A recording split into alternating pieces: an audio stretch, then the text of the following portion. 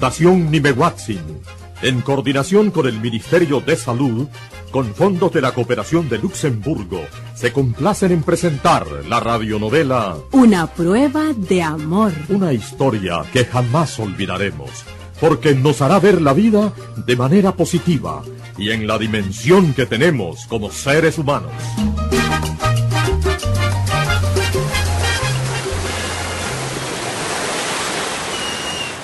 Un certero golpe en sus sentimientos provocó en Magdalena el confirmar sus sospechas. Armando, su marido, efectivamente sostenía relaciones con Marta Lucía. Y peor aún, al conocer por boca de José Ignacio que la muchacha estaba embarazada. La demanda de José Ignacio para que la criatura heredara una parte de los bienes dejados por Armando fue la gota que rebalsó la copa. Después de una fuerte discusión con ella, José Ignacio abandonó la mansión haciendo serias amenazas que dejaron a Magdalena abatida. Claudia Patricia, que había ido hasta su cuarto, apenas escuchó que se cerraba la puerta de entrada a la casa, apresuradamente llegó hasta donde su madre, a quien encontró con los ojos llenos de lágrimas y sumida en un profundo desfallecimiento.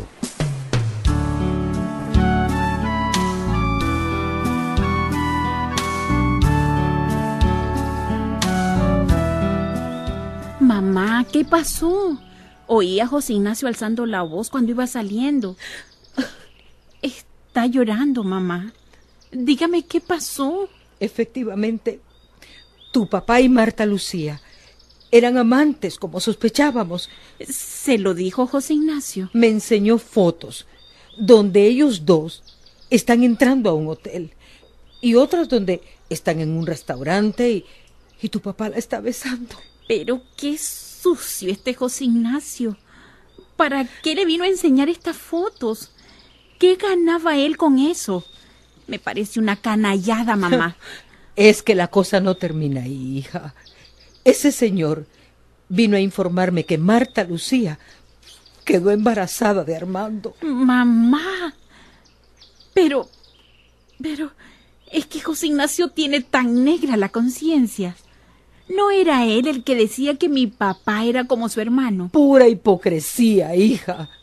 Él es un político y vive de la política. Imagínate que ya consiguió que lo hicieran juez. Un verdadero juez no es politiquero. Bueno, pero por algo le vino a contar esas cosas de mi papá, ¿no? Claro.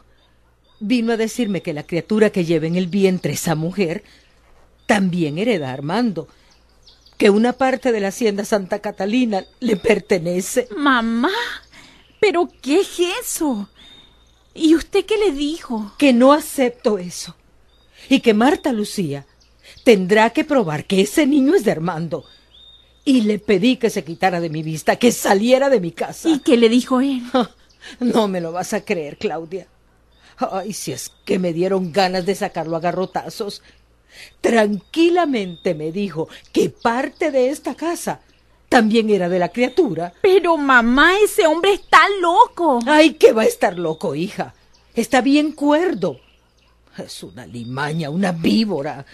Ah, pero no la va a tener tan fácil. Vamos a pelear, hija. Y así se lo dije. Claro que sí. Cuéntele todo esto a Javier. Eh, mamá. Sí. Me imagino que ahorita no tiene ánimo para abrir el... Ay, hija, con esto de José Ignacio, hasta se me había olvidado. Tenés razón.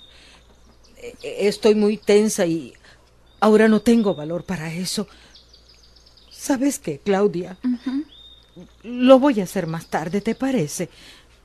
Mi cabeza da vueltas y vueltas y parece que me va a estallar. Sí, pero me va a prometer una cosa. ¿Qué cosa? Que va a ser fuerte ante todo esto que está pasando. Prometido.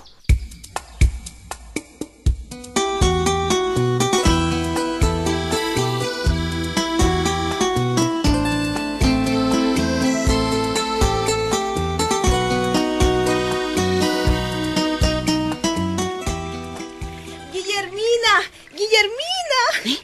¿Qué, muchacha? ¿Qué es la sofoca que te trae? No te arrimes mucho a la cocina, que ese bandido aceite está brincando. Ajá. Guillermina, mi abuelo me trajo una carta. ¿Ah? ¿Y quién te escribió, muchacha? Mi mamá, Guillermina. Mi mamá. Alabado sea Dios. Bendito sea el Señor. Ajá. ¿Y qué te dice tu mamá? Se puede saber. Bueno, eh, me dice que... Pero sentate, chavala. Aquí nomás, Guillermina. Eh, pues me dice que me quiere mucho, que siempre me ha tenido en su pensamiento, que no haya la hora de verme. La pobre. Debe estar desesperada por venir. Y me manda a contar una cosa, Guillermina. ¿Cuál cosa? que tengo dos hermanitos. ¡Eh! Quiere decir que tu mamá se enroló con alguien por allá. Ve qué caraja. Y tuvo dos hipotes. sí, un varón y una niña. Dice que el niño tiene 10 años y la niña 6. Pues ya se hizo grande la familia. Ajá. Pero cuando viene, ¿qué dice de tu abuela? Ah, bueno, que van a tardar en venir porque mi abuelita la enyesaron y tiene que estar con ese yeso por lo menos mes y medio. Vaya. Y que después le tienen que hacer unos ejercicios para que camine. Pobre señora. Guillermina, ¿no le alegra saber que tengo dos hermanos, ah? Mm, más carga para mí. Ya me veo cocinando para un montón de gente. Ay, se me olvidó que estoy hablando con mi patrona. Perdón. No me vaya a correr por lo que dije, patroncita. La voy a pensar, Guillermina. La voy a pensar.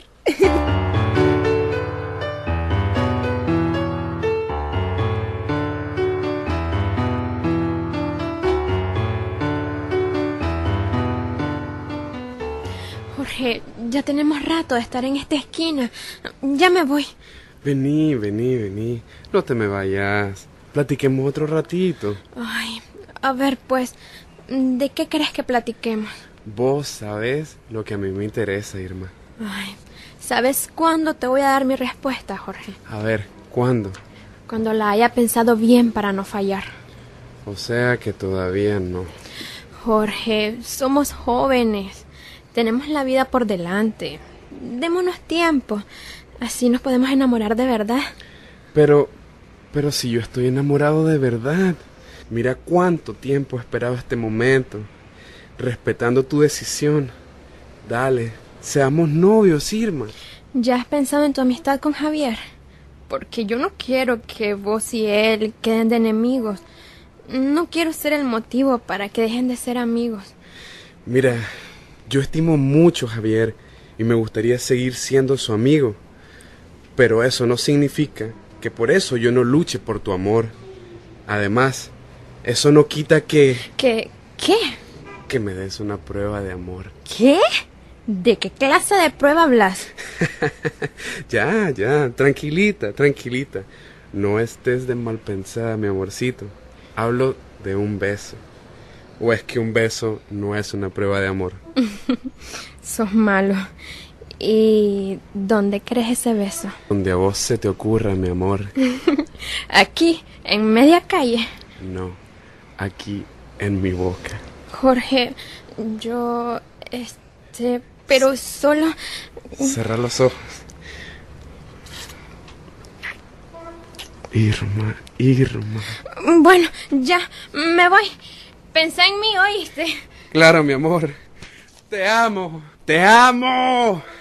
Ah, la partiste, Jorge. La partiste. Entre el amor y la amistad, me quedo con lo primero.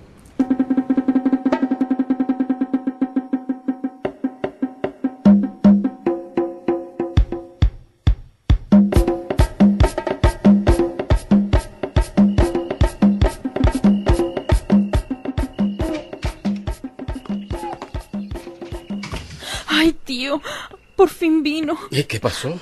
¿Qué pasó, sobrina? Iba a una reunión del partido y, y me dijeron que me llamaste por teléfono, que era urgente. Sí, sí, es muy urgente. Bueno, bueno, ¿qué pasó? Ay, tío, es que tenemos un problema. ¿Qué problema, Marta? Habla. Es que creo que voy a perder esta criatura. ¿Cómo? ¿Y por qué lo decís? Es que ando con sangrado, tío. Es poco, pero es sangrado y tengo dolor en el vientre. Mm, Te hubieras ido al hospital de una vez y luego me hubiera llamado. Ay, es que me entró un miedo terrible, tío. Lo voy a perder. Eso nunca, Marta, nunca. Ahorita mismo nos vamos al hospital. Apúrate. Esa criatura tiene que estar bien. Tiene que desarrollarse y nacer. Tiene que nacer. ¿Me oíste? Tiene que nacer. A como dé lugar. A como dé lugar.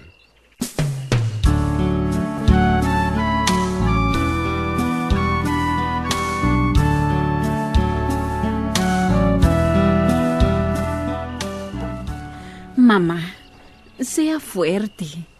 No esté nerviosa, porque a mí también me pone nerviosa. Ay, Claudia, hija.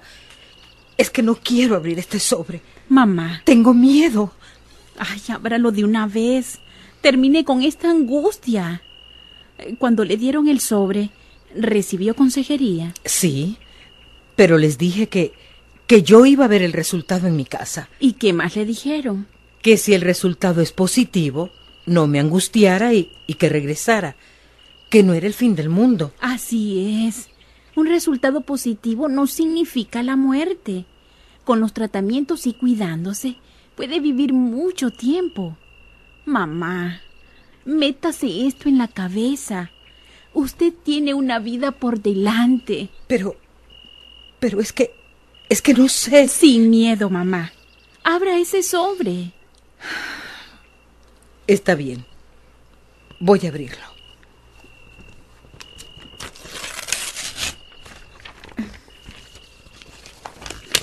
¿Qué dice, mamá?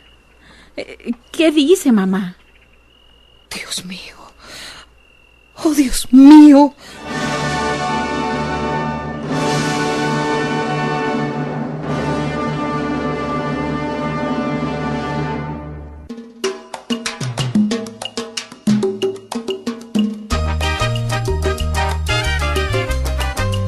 Hemos llegado al final de la radionovela Una prueba de amor, en su primera parte. Actuaron en esta serie. Naraya Céspedes como Magdalena, Pepe Areas como Armando, Humberto López como Tuto, María Zulema Bustamante como Fátima, Abigail Ramírez como Sofía, Noemí Mayorga como Claudia, Marta Sandoval como Elenita, Carlos Lara como Felipe, Daniel Sánchez como José Ignacio, Gabriel de la Rocha como Javier, Camilo Fanjul como Jorge, Oasis Hernández como Marianela, Eleana Gutiérrez como Irma, Griselda Rodríguez como Rosalba, Armando Quintero como Edwin, Marlon Salinas como Jaime, Lord de María Aguado como Marta Lucía, Amaru Canales como Fernando, María José Somarriba como Carmencita. Grabador y musicalizador, Luis Manuel Somarriba. Narración y libreto, Humberto Sánchez Martinica. Producción y dirección general, Norma Guadamú Cermeño. Gracias, gracias por haber estado con nosotros. Los invitamos a estar pendientes de la segunda parte de esta radionovela.